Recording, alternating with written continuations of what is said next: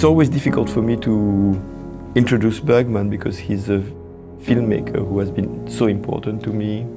Bergman showed two very important things. One, that you could be uh, both a great writer and a great filmmaker, meaning you could have the skills of a director and also be one of the great writers of your time. Uh, I think he's uh, both one of the great um, playwrights of the 20th century uh, and also one of its great directors. And of course, the second thing is that he has also been a great inventor of cinema.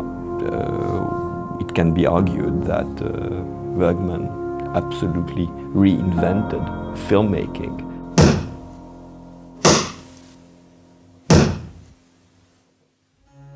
Persona is one of the greatest movies ever made.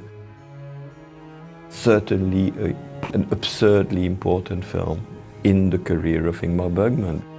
When he wrote Persona, he tries to go for something that has never been made in filmmaking and that has hardly been repeated, uh, certainly not at this level of intensity and of uh, deep poetic truth.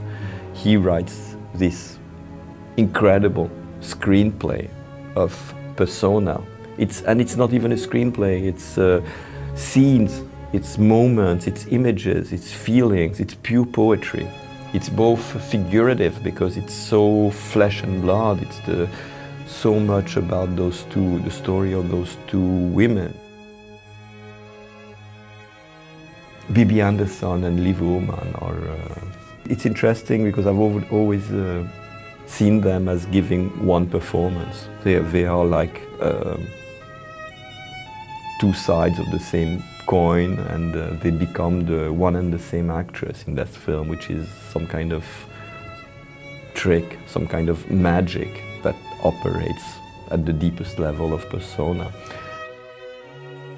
It's, in many ways, it's a very simple film, not expensive to make, and uh, it's a film that had this, he had this visceral need, and uh, it was a movie that, for him, was about life and death, uh, also in terms of generating or not the possibility for him to go on and make movies.